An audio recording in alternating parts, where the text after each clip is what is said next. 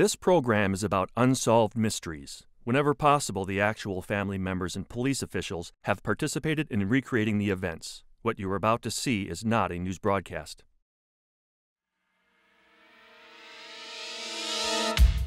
When investigative reporter Dan Casolaro was found dead in a West Virginia hotel room, his wrists had been slashed 12 times and his confidential papers were missing. Local police ruled his death a suicide, but Casolaro's family and friends are convinced he was murdered because he had accumulated compelling evidence of widespread government corruption. In Fort Lauderdale, Florida, a single mother and her daughter are found dead in their home. A neighbor, John Purvis, is convicted of murder and sentenced to life in prison. With the help of unsolved mysteries, Purvis is now a free man, and two other men are behind bars awaiting trial on charges of first-degree murder. Also, the authorities need your help. They want to identify and capture a man who attacked an elderly couple while they were on vacation. Join me. Perhaps you hold a crucial clue that will solve one of tonight's unsolved mysteries.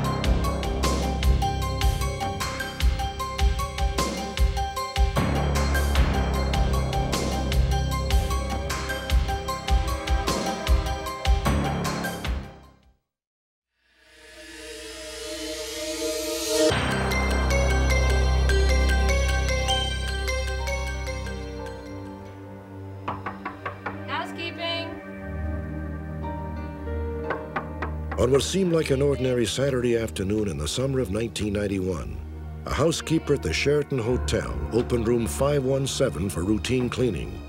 Nothing could prepare her for what she found inside. Oh, God.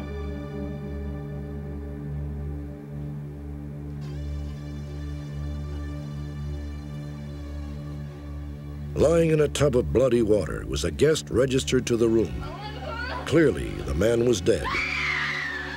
The housekeeper discovered the body of Danny Casolaro, a 44-year-old investigative journalist from Fairfax, Virginia.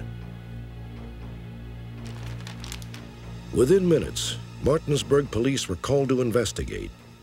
In the room, they found a brief suicide note which read, To my loved ones, please forgive me, most especially my son, and be understanding. God will let me in. Hi, Tom. Lieutenant, What do you got here? Uh, seems pretty clear it's a suicide. We got a note here. Got about a dozen slash marks on the wrist. In the bathtub, police recovered a single razor blade. Incredibly, Casolaro's wrists were slashed 12 times, with eight cuts on his left wrist and four on his right. One cut was deep enough to sever a tendon. The reporter's wallet was found in his room with cash and credit cards intact. There appeared to be no evidence of a struggle. Why don't you uh, wrap it up here as quickly as you can and we'll get out of here. Good job. You got it. Casolaro's body was delivered to a Martinsburg funeral home later Saturday afternoon. However, two days passed before Casolaro's family was notified of his death. My mother called me, and you know, uh, she said, uh, "Danny's dead. They've killed him." And I called the police at that point. She didn't really know any details, and spoke with the sergeant doing the investigation. Hi, this is Dr. Tony Casolaro. I'm calling about Danny Casolaro. Yes, I just spoke with the mother. How can I help you? Yes. What happened? And he said, "We found your brother, and he committed suicide." Suicide. A hotel maid found his body when she went in to clean his room on Saturday around 1 o'clock. Uh, Saturday. This is Monday. I asked them why it had taken them two days to notify us, and he, he at the moment didn't know. He just said he thought we had already been notified. Sir, no. Uh, look, what do you know about my brother? I started asking him questions. What about all the papers he had with him, the investigation he was doing, and the, and the sergeant was clearly uh, really didn't have any idea about this. And at that point told me they found no papers in his room. The papers Casolaro had with him in Martinsburg included hundreds of notes and documents from more than a year of investigation. Not one has ever been found. From the moment we heard about his reported suicide, we uh, doubted it, questioned it, wondered about it. It was not his nature to kill himself, so we were suspicious from the first. And then the deeper we dug into it, the more suspicious we became. Suspicious circumstances uh, surrounding the investigation of his alleged suicide.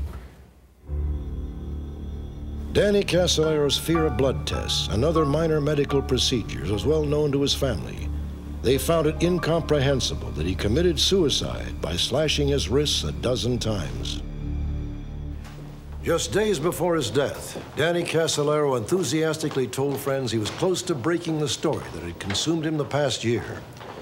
It had started as an inquiry into computer software theft, but soon mushroomed into a broad investigation of government corruption that Casolaro believed implicated U.S. Justice Department officials.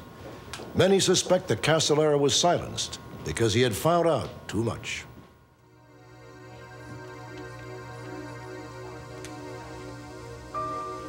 Danny Casolaro's strange odyssey began when he interviewed Bill and Nancy Hamilton, the owners of a computer software company called Inslaw. First of all, when was the PROMIS software developed and what was it for? Well, there's a big need for this kind of software. The Hamiltons had developed a powerful program called PROMIS that they claimed revolutionized information management by law enforcement agencies.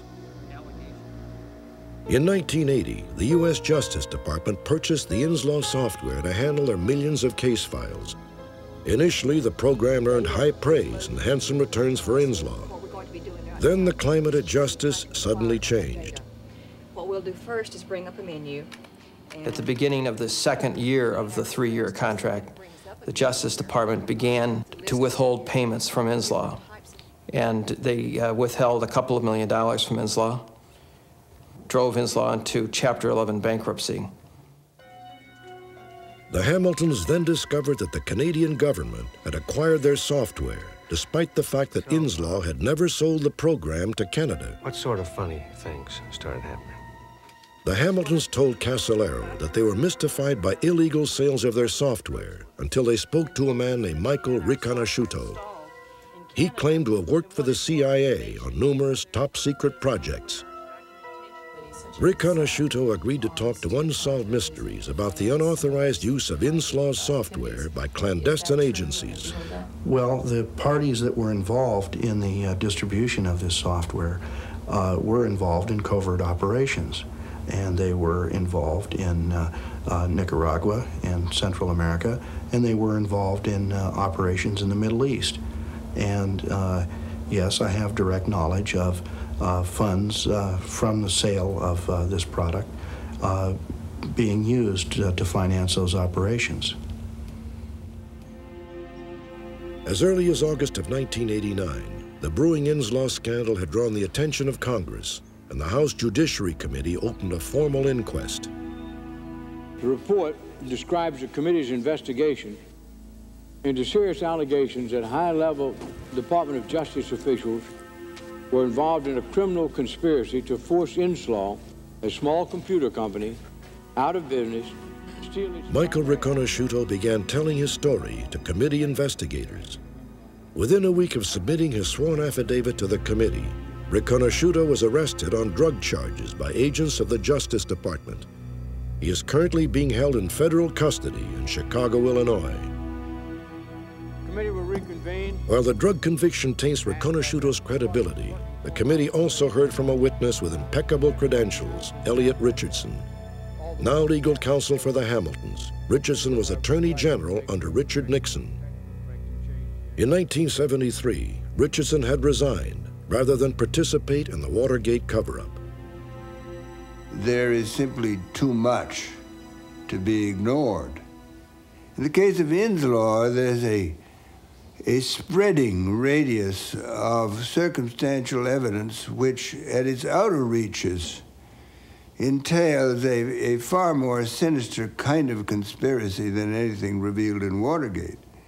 Do you have any information as to whether or not they acquired the PROMIS software? After months of investigation, Casolaro believed he had uncovered an unsavory network of U.S. officials, organized crime members, and intelligence agents. He called it the Octopus. System, or is that being used by their intelligence operations? Casolaro claimed the Octopus was at the root of not only the Inslaw affair, but the Iran-Contra scandal, BCCI, BNL, and even the now largely discredited October surprise. In short, just about every major scandal of the 1980s. You have pretty direct connections with some of the underworld crime figures now. The deeper Casolaro went in search of the octopus, the more he found himself on intimate terms with shadowy characters. Danny Casolaro stepped into a world that he didn't belong in. Uh, the type of people that he became involved with um, lie just as a matter of, of course. I think after a while, some don't even know what the real truth is. Uh, they lie, they cheat. There are people who've been involved in numerous murders, dealing drugs, dealing arms. And Danny Casolaro thought he could find his way through this labyrinth by himself. And that was a mistake. Are they serious? I don't know. I don't think so. A week before he died, Casolaro told his brother he had been receiving frequent death threats. Who are these guys? Well, I don't know. I mean, I know a couple of them. They're the guys that I've been working with, my contacts, and they're calling me and saying, look, Danny, you're getting too close. You're going to get hurt. Back off. And I'm getting calls in the middle of the night from guys I've never heard of. I don't recognize their voices. I don't know where they're coming from. They're just saying, you are going to die. I'll tell you this, though. If, when I go to Martinsburg, if something happens to me or if I should get hurt, don't believe it's an accident.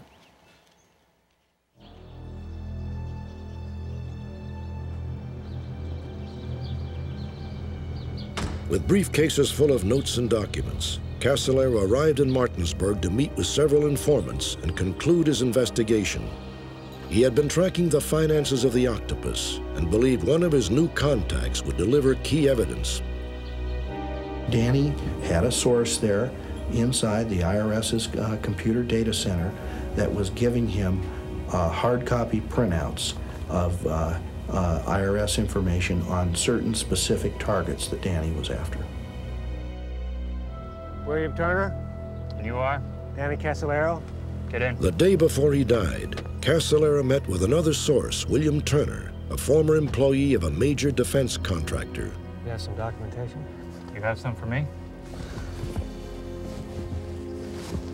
Driver's license.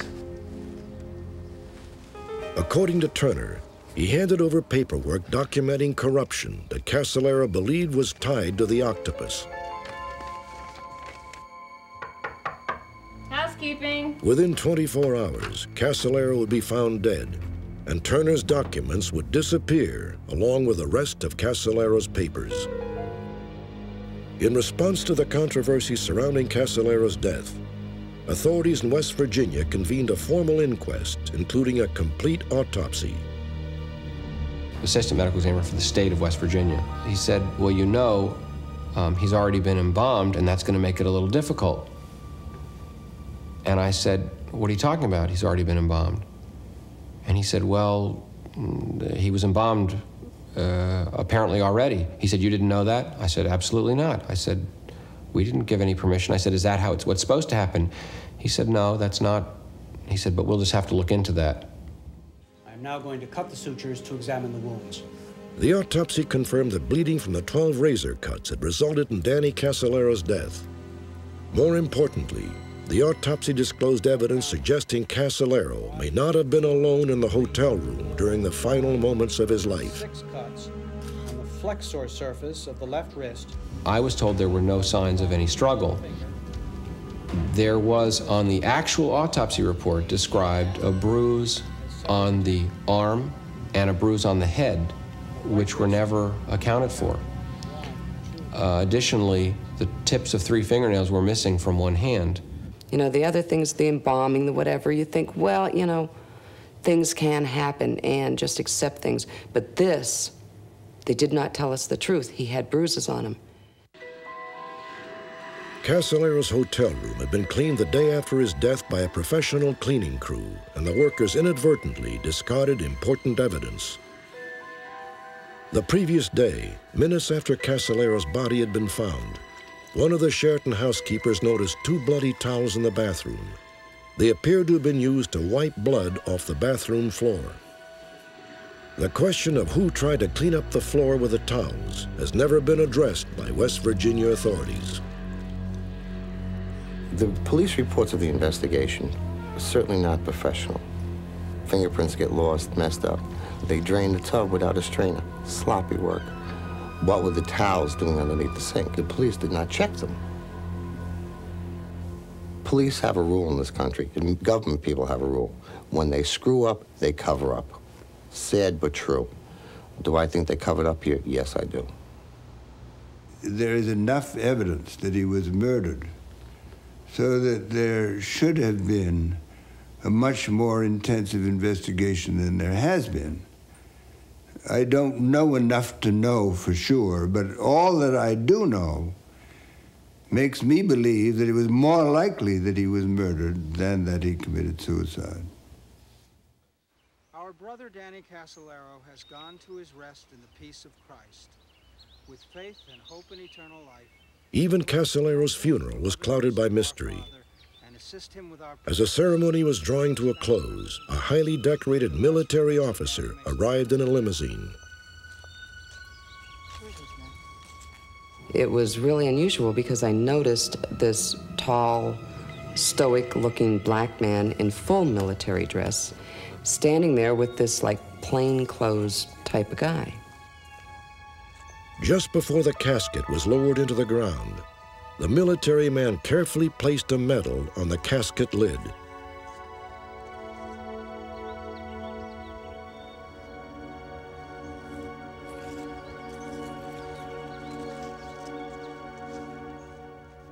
And we went back to Frances's house, Danny's mother's house, and I said, "Frances, who was who was the the military man? And she said, I thought you'd know. Don't you know that guy? And I said, No. And we asked everyone there. There had to be 50 people at Frances's house. No one knew who they were. No one. The official inquiry into Casolaro's death was concluded more than a year ago. However, Casolaro's clothing, wallet, suicide note, and other personal items have been retained with no explanation by the investigators.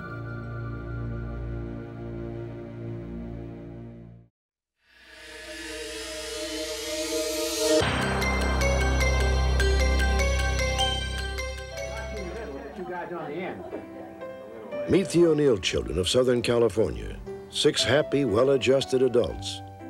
To look at them, you would never guess that their early years were racked by trauma. In 1958, the untimely death of their father, Paul O'Neill, precipitated the first in a series of family secrets that would haunt the children for years. Within every family that harbors deep secrets, it seems there is someone determined to uncover the truth. The O'Neills are no different. For Bill, the youngest son, this quest would lead him through a tangled web of intrigue, woven out of desperation by his mother. Eventually, Bill would unravel the mysteries of his family's past and begin a remarkable search. First for the sister he thought was lost forever, and now for his natural father.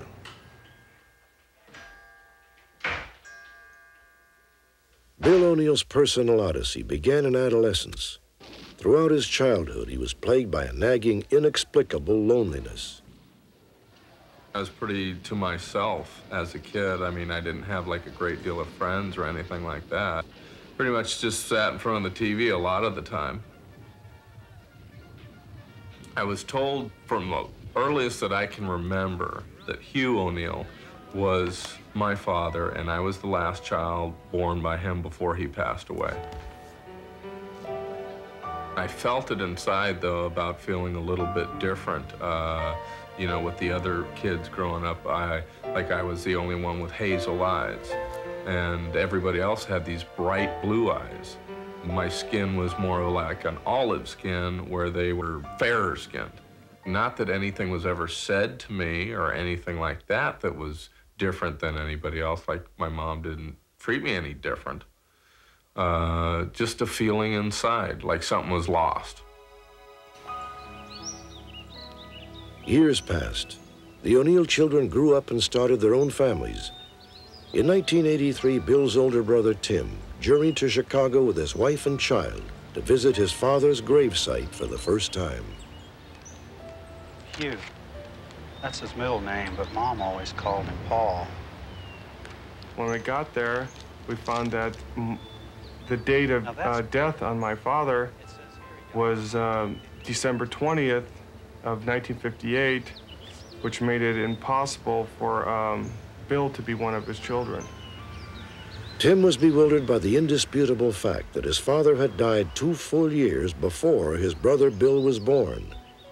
When he returned to California, Tim went to see the only person who could sort out the baffling discrepancy. I went to my mother's house, and um, she had told me that uh, she didn't want Bill to know about this or anybody else in the family to know about it, and that um, sh she would basically take it to her grave. She didn't want anybody in the family to know about the dates and what had transpired years ago. Against his better judgment, Tim respected his mother's wishes and kept her secret to himself. What's up? Nothing else in the neighborhood, so I thought I'd drop by. But by 1986, Tim had decided to tell his brother the truth. He was stunned to discover that Bill had always suspected. Whatever happened with you and Mom anyway? I mean, I can't even mention your name without her getting upset. Yeah, well, that's because you don't know about the O'Neill secret. What are you talking about? It's nothing. No, tell me. Ask her. No, I'm asking you. I knew what he was going to say. I had the feeling already inside. Is it that I have a different father than you guys? Yeah. Just had a feeling. I felt like all all the years that I had been feeling the way I felt was sort of just all confirmed. And now where do I go from here? I remember just going into sort of like a shock mode though. You know, I'm feeling real empty.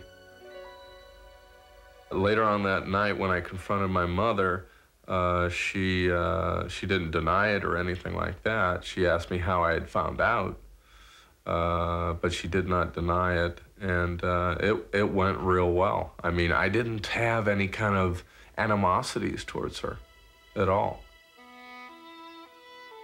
Bill's mother told him that she had met Paul O'Neill in 1953. He was 29, she was only 20. It was love at first sight, and by the next summer, they were married. Over the next four years, Paul and Lynn had three children and bought a house on Chicago's South Side. Their happiness, however, would not last. Paul O'Neill was a World War II veteran and suffered from a chronic kidney ailment. Oh, honey, here's Daddy. By November of 1958, Lynn was eight months pregnant with her fourth child, and Paul was spending most of his time in Chicago's VA hospital.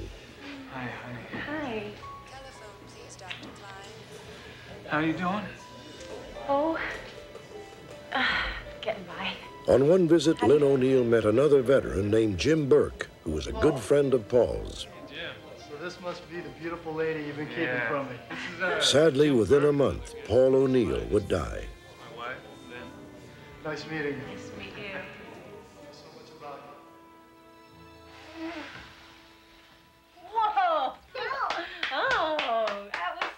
It wasn't long before Jim Burke became a familiar presence in the O'Neill household. Um, come on in. Door's open. I remember that there was a man that was that was around our house, and he had dark, kind of wavy hair, and he had dark eyes. But I don't put a name with him. I don't know what his name is, but I'm comfortable with that this man is is there.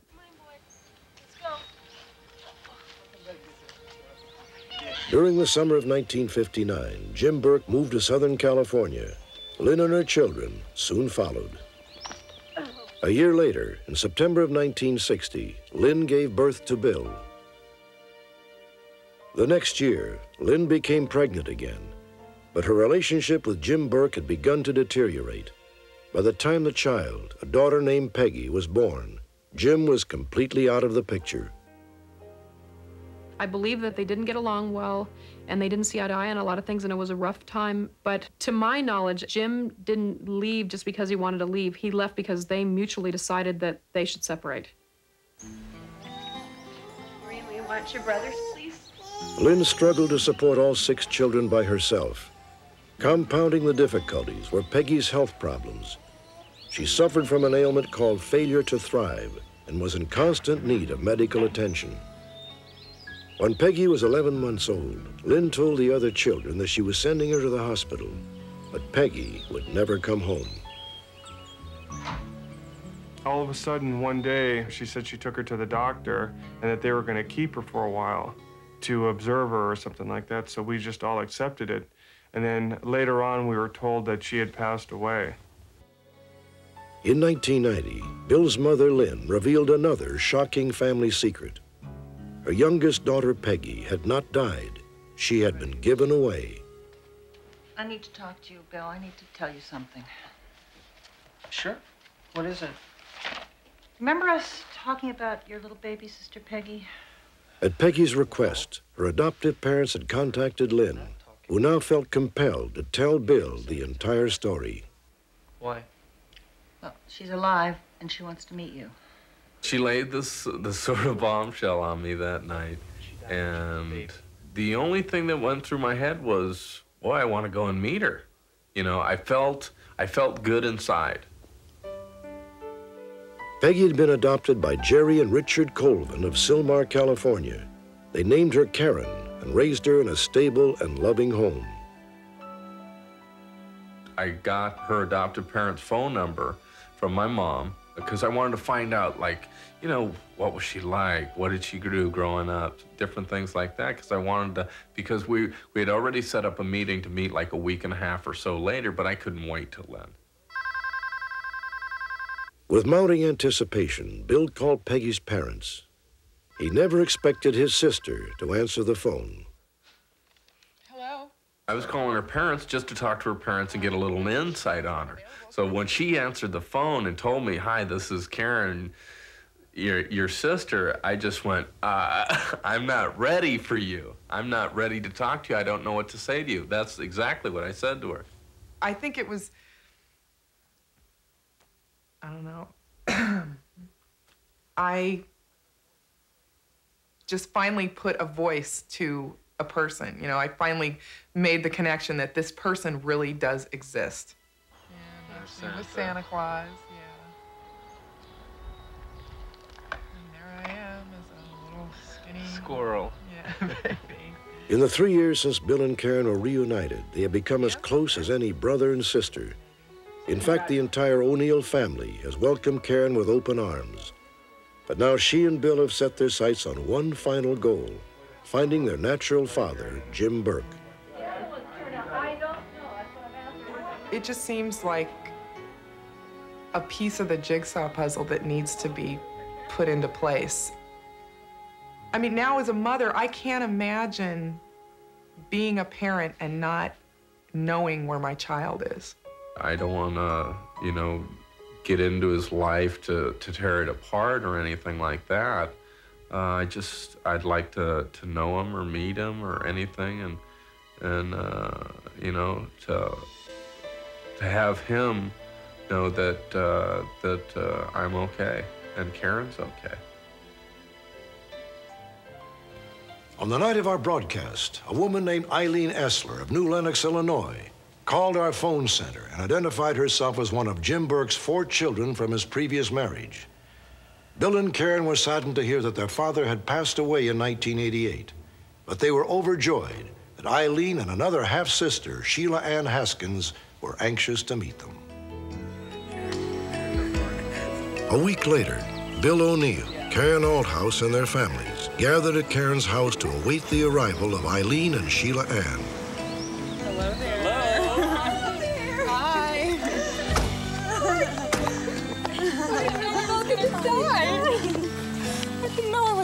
This. I felt a connection, a definite connection, like when I reached out to hug them. I, d- I don't know. I didn't, I honestly, to be honest, I just, I didn't feel like I was gonna be as emotionally tied as I felt. Ditto. For Sheila Ann and Eileen, the bond was just as strong. As soon as I saw Bill, As soon as I saw his face, there was absolutely no doubt in my mind that he was a brother. No doubt. I felt wonderful. I mean, I like Sheila. I wanted to touch him. I just wanted to touch him to have a uh, baby brother and baby sister. I know they're not. They're so much taller than we are. okay, this is our father. Later that afternoon, Bill and Karen sat down with their new sisters to learn about their father, Jim Burke. And, and how was it related to her? This is what I've wondered all my life. Who are my parents? Do I have more family? Did I have brothers and sisters? Things like that. And it's exciting to finally see them, to touch them, to, to get to know them. The reunion was especially poignant for Bill O'Neill. His lifelong feelings of isolation were replaced with a new sense of belonging. I just, I figured, hey, we'll get together with them and We'll be make like nice. neighbors. yeah, be- Yeah. you know, get some pictures, get some more information about our dad. But it wasn't like that. It wasn't like that at all. It was more. Um, it was just a uh, inside warm feeling uh, that everything was now completed. true. God. Great to hear. For Bill, Karen, Eileen, and Sheila Ann, this was just the first of many gatherings to come. Bill and Karen have since met one of their half brothers, and next March they hope to meet another at a family wedding in Illinois. Also in attendance will be a grandmother, an aunt, and 12 cousins. When we return, a cold blooded killer strikes at a scenic rest stop in the Canadian wilderness.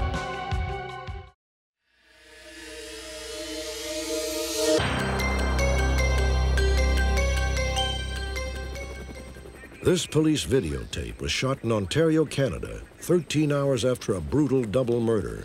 The place, the Blind River Rest Stop, just 85 miles from the U.S. Canadian border on Highway 17. We were looking for a place to stop, so we saw this rest area. It was a nice, quiet river, ran along by this picnic area. We went out and we walked around, and we thought, gee, we, it's, it's a nice, quiet little spot. We'll, we'll maybe spend the night here. On the morning of June 28, 1991, Gord and Jackie McAllister of Lindsay, Ontario, were the only two people in the Blind River rest stop. The McAllisters, on the first leg of a vacation trip, had decorated their new camper with family photographs to make it as homey as possible.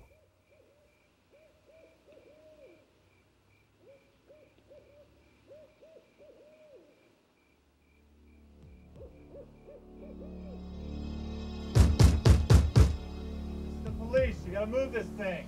What? Who is? We both got up, and this guy was still banging on the side of it and saying that he was a police officer and he wanted us to open the door. I'll get it, honey. Where I'll are we? We should be all right here, huh?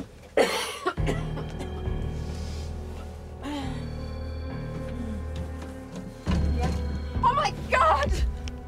I'm gonna rob you, then I'm gonna kill you. Oh God! Get your things, get them in the purse. Get your purse. You will, we'll give him the money Please, and he'll, he'll go away.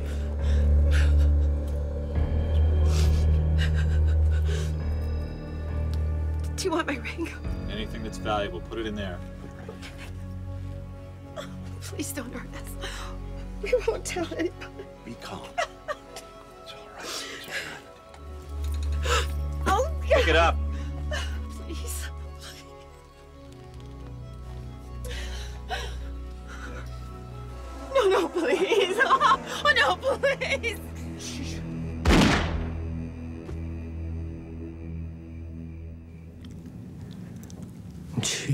Fell, and I made a leap to get out.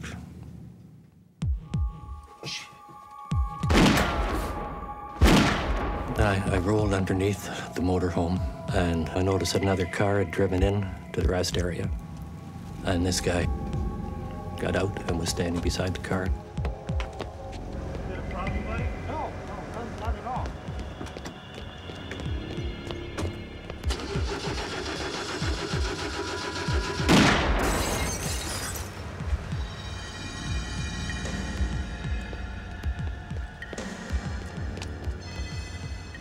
Laying there just praying.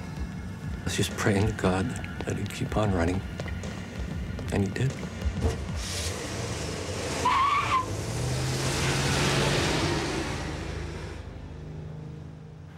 As soon as he went by, I rolled back out and got up into our motorhome and drove out onto the highway. I knew I had to get out onto the highway to get some help. Gord knew that his wife was horribly wounded, but only as he stumbled to the road did he realize that he too had been shot. It was a race against time. Buddy, you all right? You gotta help me. My wife and I have been shot. Can you use your CB and call for help, please? My radio's broke, but I'll get the next exit and call for help. Hurry, please.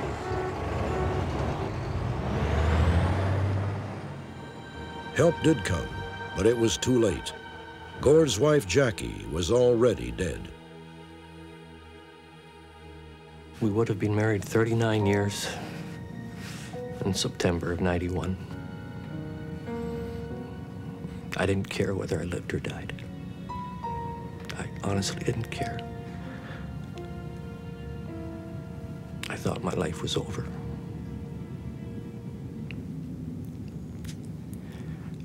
You don't live that long with a person, and then it's hard to carry on by yourself.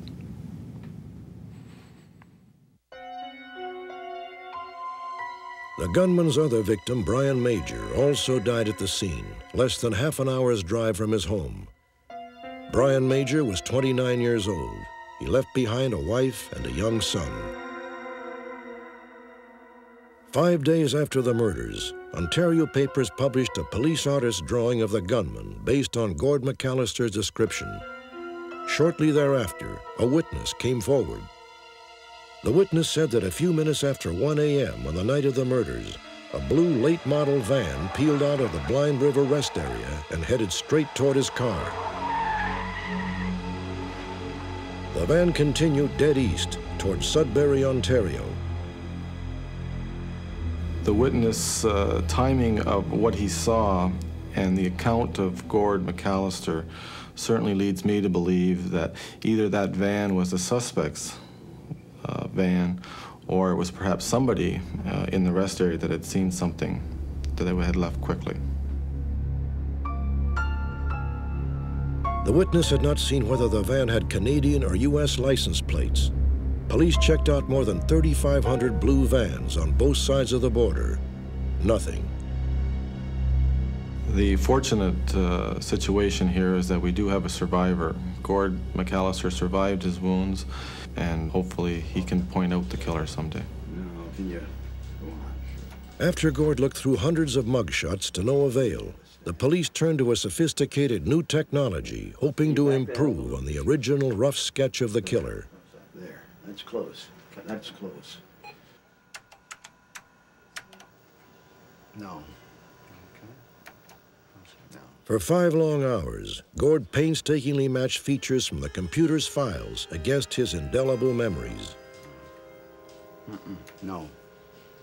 No. Slowly but inexorably, the face of his wife's killer emerged.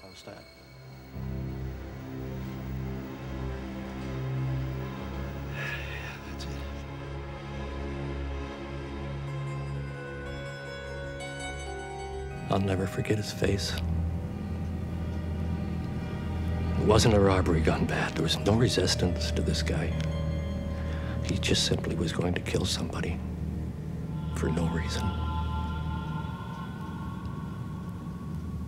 I thought he was going to come after me because I'm sure that he knows I'm the only one that can identify him. And I was under police protection for a long time. They were watching me pretty closely, and I thank them for that. But I'm uh, at the point now, and then I was even at the point then where I didn't care if he came after me. Maybe if he killed me, then maybe he'd get caught this time. The murder of Jackie McAllister and Brian Major is believed to be approximately 30 years old, about 5 feet 10 inches tall, with a slight build. He has long, stringy blonde hair and a receding hairline. Next, a man wrongfully accused of murder is set free, thanks in part to unsolved mysteries.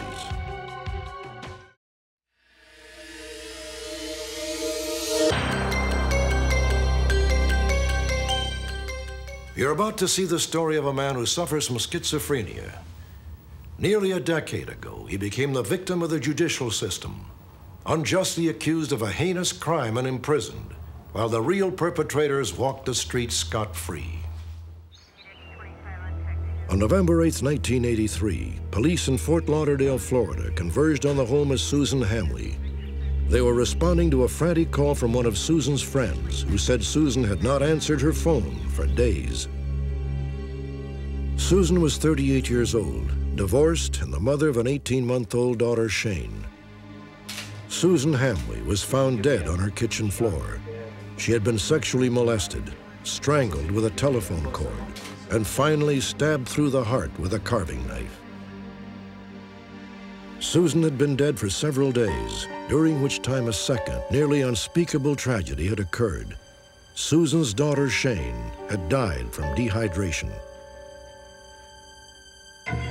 Police recovered two crucial pieces of evidence at the scene. A bloody carving knife with no fingerprints on it and red human hair. Statement? What kind of statement? The next day, detectives canvassed Susan's neighborhood. Two doors away, they questioned 66-year-old Emma Jo Bartlett and her 42-year-old red-haired son, John Purvis. Well, I knew her a little bit. Oh, good. Would you like to come down to the station and give a statement? Well, if my mama can come with me. Would you come with me, Mama?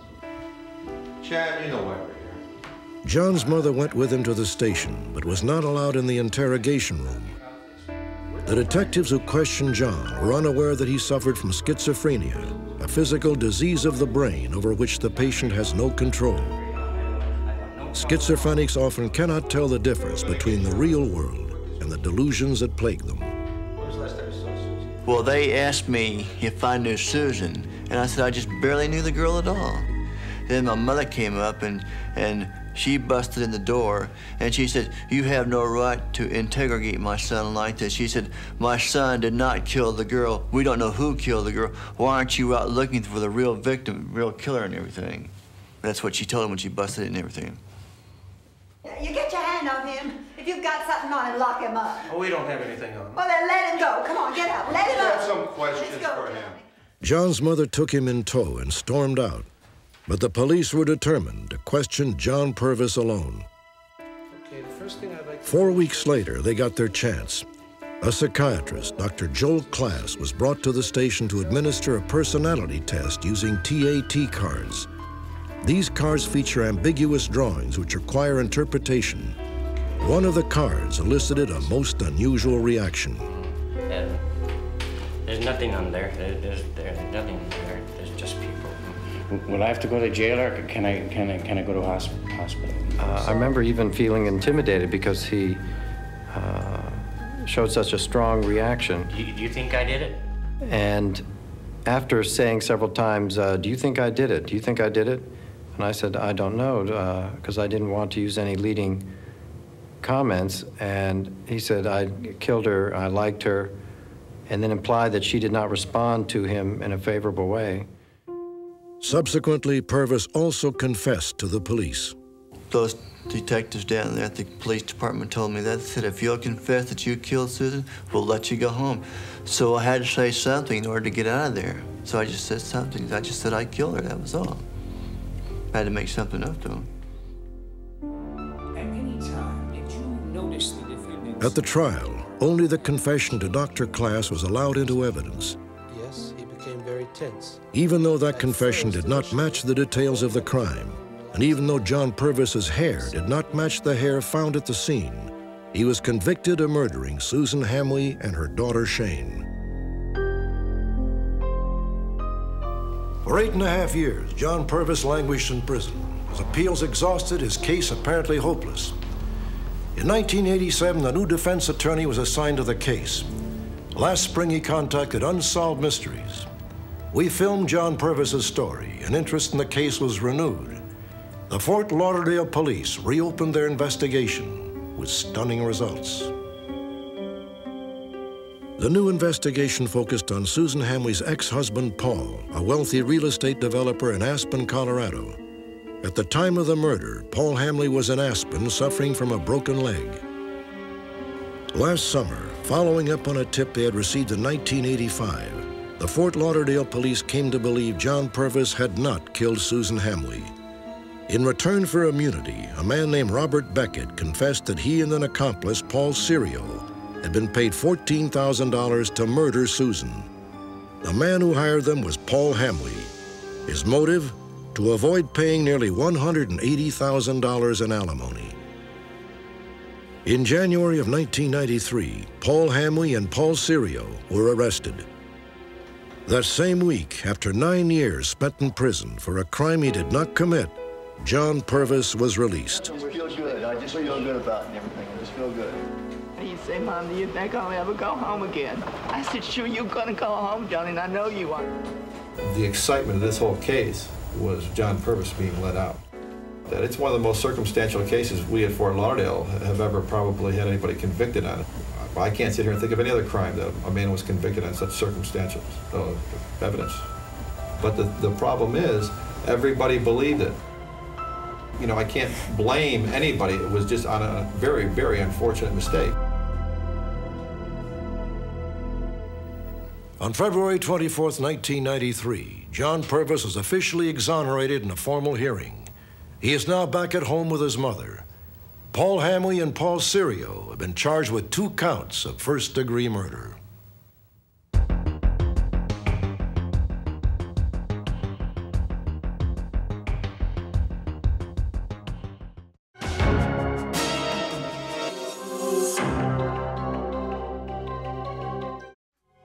On our next Unsolved Mysteries, for centuries, religious pilgrims have journeyed to Mexico City to offer prayer and thanks to Our Lady of Guadalupe, a remarkable depiction of the Virgin Mary imprinted on a piece of rough cactus cloth. Believers claim that the striking image is truly a miracle, created in 1531 when a vision of Mary appeared to a peasant named Juan Diego. Skeptics say that while Our Lady of Guadalupe is an impressive work of art, it is hardly miraculous. Join me next time for the celebration of the Easter season and other intriguing cases on another edition of Unsolved Mysteries.